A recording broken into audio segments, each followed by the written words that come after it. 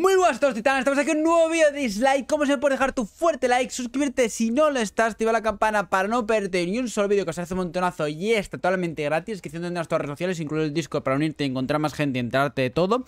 Y nada, hoy vamos a hablar de los mejores 4 estrellas. Ya os traje el de 5 y os traeré el de 3, no os preocupéis. Así que poco a poco, my friends, que os iré trayendo todos, no os preocupéis. Así que nada, vamos a la primero de todo.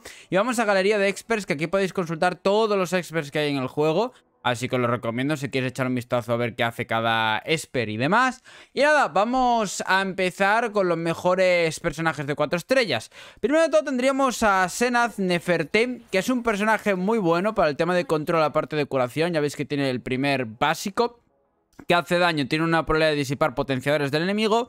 Después tenemos la danza de las flores, que es una habilidad, de curación. Cura todos los especialidades una cantidad de PS equivalente al 10%, sus PS máximos, más un 80% de ataque en el Y otorga recuperación durante un turno. Recuperaciones que recuperas un 15% de los PS máximos del personaje, ¿vale? Es decir, no de Neferten, del otro personaje, ¿vale? Recuperas un 15% que está muy bien. Luego pasos de loto que aumenta la PA de todo el equipo y otorga marca de loto que reduce el daño recibido un 50%, desaparece al recibir un ataque. Cada marca de loto activada aumenta los PA un 20%. Este personaje es muy completo, la verdad, pero un 4 estrellas muy bueno. Y obviamente, bueno, realmente ya os digo que los 4 estrellas en este juego son muy buenos, ¿vale? Os hago el spoiler de que los 4 estrellas aquí no son 5 estrellas, pero es muy bueno igualmente. Aumenta un 30% de la defensa de los aliados el milagro ritualístico y el milagro sónico. Es decir, esta te da defensa. Está, eh, la verdad que está muy bien, es un personaje de 4 estrellas muy bien, muy bueno. Y que 100% tenía que estar aquí en la, en la tier, pero vamos, 100%.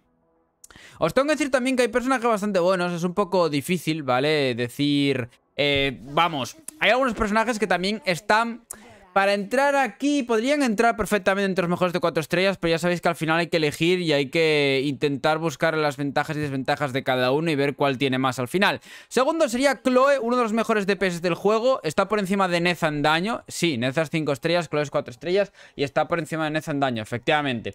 Primer ataque, tendencia, ataca a un objetivo dos veces, cada ataque inflige una cantidad de daño equivalente al 70% de ataque y tiene una probabilidad del 50% de robar un potenciador.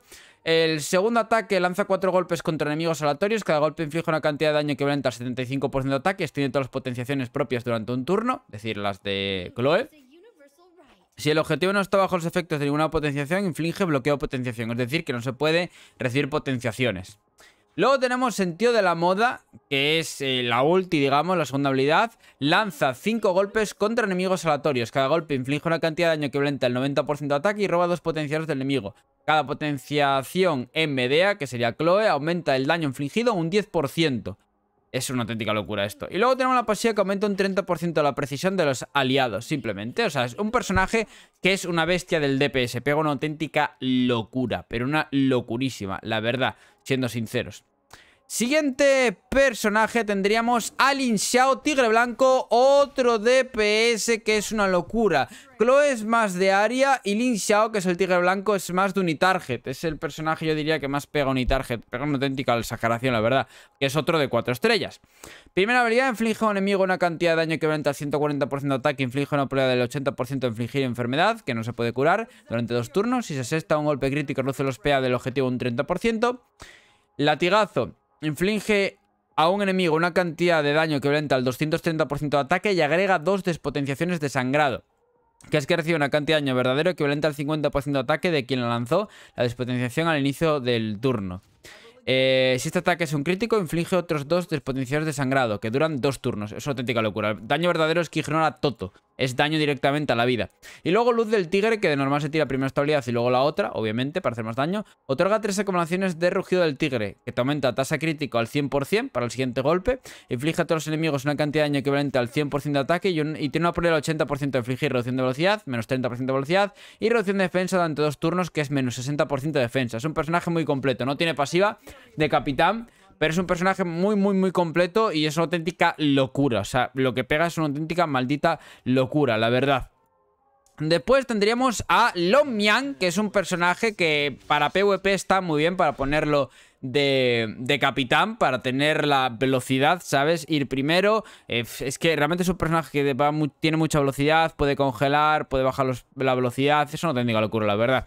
Primer ataque, ataca a un enemigo dos veces. Cada ataque inflige una cantidad de daño equivalente al 60% de ataque y tiene una probabilidad del 80% de infligir reducción de velocidad en dos turnos, que es menos 30% de velocidad. El segundo inflige a todos los enemigos una cantidad de daño equivalente al 80% de ataque y tiene una probabilidad del 80% de reducir sus PA un 30%. Si el objetivo está bajo los efectos de la despotenciación reducción de velocidad, la habilidad reducirá un 30% más de PA, es decir, hasta un 60% de PA, que es auténtica locura. Después tenemos toque gélido, que es un movimiento que veréis un montonazo en PvP, pero un montonazo. Inflige a todos los enemigos una cantidad de daño equivalente al 110% de ataque y tiene una probabilidad del 100% de infligir reducción de velocidad, que es menos 30% de velocidad, durante los turnos y congelación durante un turno, que es básicamente que los congelas y no pueden hacer nada. La habilidad del capitán es 20% más de velocidad para los aliados, que esto se usa muchísimo en PvP, la verdad, se usa muchísimo, pero muchísimo en PvP.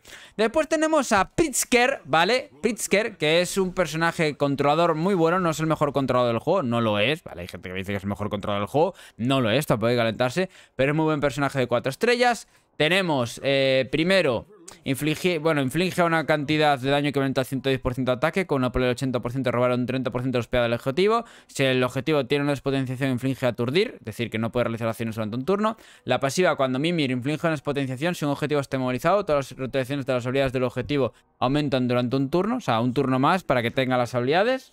Esto está muy roto también.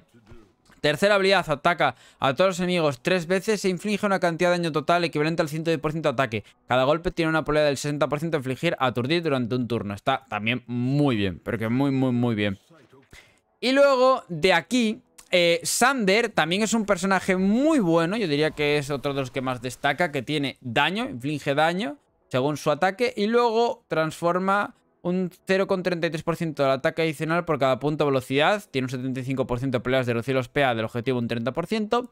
Tenemos luego corrosión que inflige a un enemigo una cantidad que aumenta 180% más eh, un 0,33% de ataque adicional por cada punto de velocidad, que esto es lo mismo que lo otro. Tiene una probabilidad del 100% de infligir reducción de velocidad, que es más 30% de velocidad. Durante dos turnos, si se acepta un golpe crítico, Set obtiene aumento de velocidad durante dos turnos, que es más 30% de velocidad. Luego tenemos Tormenta de Arena, que es la última habilidad. Ataca a un objetivo tres veces. Cada golpe inflige una cantidad de daño equivalente al 60% de ataque, más 0,33% de ataque por cada punto de velocidad. Tiene un 50% de probabilidades de reducir los PA del objetivo un 30%. El último golpe inflige aturdir al objetivo durante un turno. Y la pasiva aumenta un 25% de velocidad de los aliados en el milagro ritualístico y en el milagro sónico. Ojito, que no en PvP. Este es un personaje también muy bueno. Hay personajes también interesantes que igual no es lo mejor, mejor, mejor, mejor. Pero por, por ejemplo, Jormungand es un personaje también muy bueno.